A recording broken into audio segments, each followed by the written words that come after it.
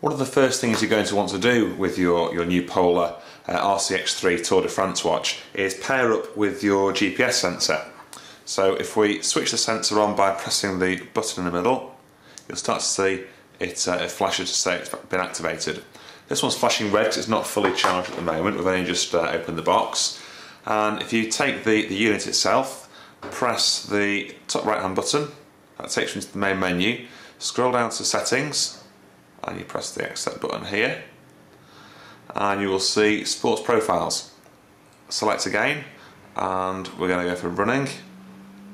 Scroll down until you see GPS sensor, and you're going to search for new. So click that option, and you can see it starts searching.